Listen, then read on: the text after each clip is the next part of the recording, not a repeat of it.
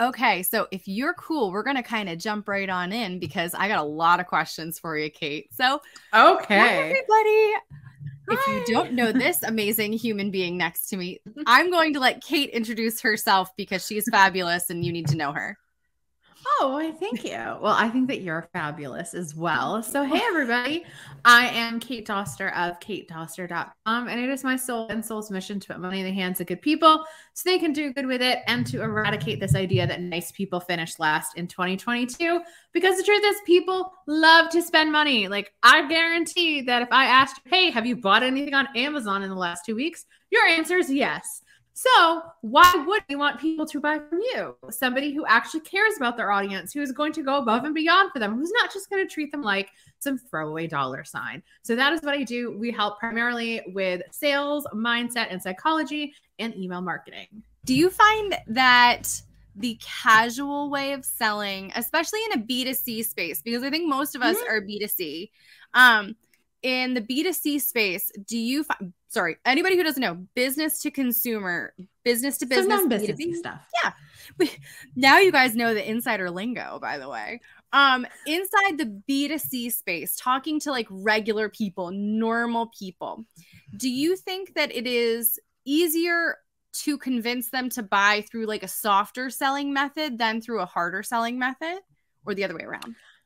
I think that I think that's how soft selling sort of works. I do think that there are some what I consider for my personal taste, although other people will love them. I think that there are some things that I feel are just too aggressive for yeah. consumers or in personal niches that you're going to see that other marketers get away with or other business coaches like in the B2B space because we all know how the game is run.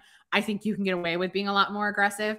But again, it's that thing of the other day I was talking to the student of my you know, grow your amazing plant course. And guess what you're going to do? You're going to hyperlink to the Grow Your Amazing Plant course when you say its name every time. And she was wondering, how can I get my tomatoes to not have bugs? So, quick tip put coffee grounds. And then it's like, if you're looking for more, you can go and look at this course. Or if you're looking for more, go read this blog post. So that way they know that you have it, especially for mm-hmm. business to consumers, because I think we're so afraid and we don't want to be salesy. Your audience might have no idea what you sell. They might have none.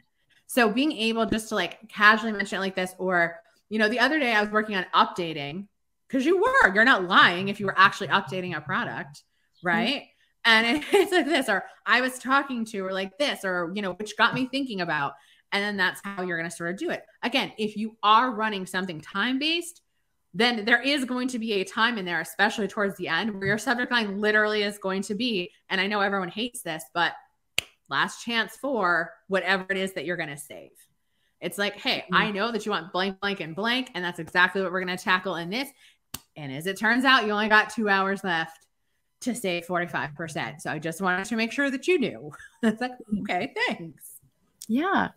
And see, it's like much more, than, um, yeah, sorry, conversational, like, yeah, organic inside of it without feeling like you need to set up a time to launch constantly. Yeah. Like you can still promote your stuff without saying like okay from monday through wednesday from the first through the fifth i must be talking about just this product it doesn't have Mm-mm. to be like that yeah and you don't have to offer anything like say special because i think some people think that too like oh i've got to have a discount if i'm going to talk about my planner i've got to have this no it could be the time of the year it could be like i one of my favorite emails which we talk about in the course a lot more i left my keys in my trunk and because I didn't want to spill my iced coffee. And I related that how people spend so much time on social media, but they're not going to pay attention to the thing that matters most the keys or the relationship with the people on their email list. And then I parlayed it into a sale for my uh, email marketing fairy.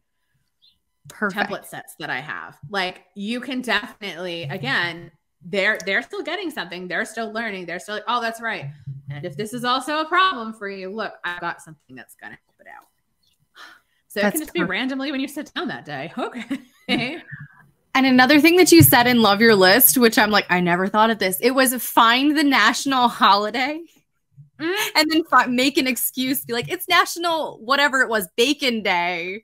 Send yeah, an email. Right. Mint Julep. Right. Uh, it was, they had, it was a summit that I was part of.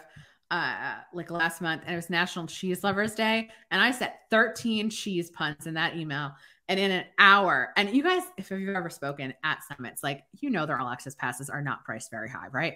In one hour i made a thousand dollars of affiliate commission off of a cheese pun email because it was that good. Like you can have so much fun. Again it can be like you know national black and white day or penguin day and then again you can talk about, you know, the arts and crafts that you have for penguins. You can talk about black and white cookies. You can talk about mm-hmm. Antarctica. You can talk about how you have cuteness rage, kind of like how some people have pixel rage when it comes to Facebook. Like there's a lot of different ways that you can make those work out. So it's like the one that I use is the national, I think it's national holiday. Oh, it's holidayinsights.com is the one that I love the most. And again, sometimes like March, mm, they're kind of duds because I was going to use one for our webinar. Like none of these really is are that exciting, but sometimes it's just worth it to use your creativity. Like Melba Toast Day, like what? but sometimes you can be like, did you know that there's a Melba Toast Day? And then you explain what Melba Toast Day is, and then you can talk about something else that somebody wouldn't like normally know is a thing when it comes to your industry or niche. Like that's how you can make things sort of fun and interesting without being yeah. zany or swearing or any of that sort of stuff. Yeah. Keep it fun. And, you know, any excuse this uh, let that sounded like bad when I was going to say it, but like any excuse for you to continue to have a dialogue with your people. Mm-hmm. What emails are. One okay, of the so best compliments you can get is I feel like I know you or I feel like we're talking together because that's it. Like when you write an email, I don't want you thinking that you're writing it to like a million people. Just think of a person who's almost as excited about your topic as you are. So almost as excited about growing plants or almost as excited yep. about organization. Cause we all know, like, especially like, you know, the two of us, like we're friends. So like we'll talk about like CrossFit, and, like powerlifting, like all this like nerdy stuff, right? And we'll talk about marketing. Like we love it. But like, you know, your husband's just kind of like, uh-huh. Right. Like their eyes just right. glaze over. So I like to pretend my email subscribers are almost as excited about like online business or like this sort of stuff that I am, and they want to hear it. And I think that when you go with the mentality of, oh, they want to hear this because they're also almost as excited for this as I am, it helps a lot. Thank you so much for coming today and bestowing your knowledge on us. And um, so people can find you at what is your website? Uh, you go to katedoster.com and I do have a podcast. We're going on a bit of a summer slash spring break, but it is every other week. It's called Inbox Besties, and you can go there as well. Uh, if you're like, mm, I'm not really in the mood for a webinar, um, I'll make sure that Caroline drops the link. I do have a freebie that's two years worth of strategic email ideas. So I literally like January, week one, send this, week two, send this. If you're a rule breaker, you can like switch them up or you can like go look at May. I let them know if it's like, oh, it's mint julep day in May. So like you have to send this in May. So, and if you're like, but Kate, like, what about, you know, January, February? They come back. So it's fine. If you're watching this and it's like July, it's cool. The rest of the months come back. Just just recycle it. You're good. Oh yeah. It's fantastic, guys. If you're ever if you're one of those people who's like, I it is Friday at 3 p.m. I have a half an hour before I can pick up the kids. I have no idea what to send. That's an awesome freebie for it.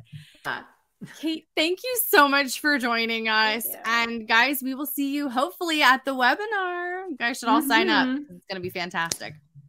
Bye. Bye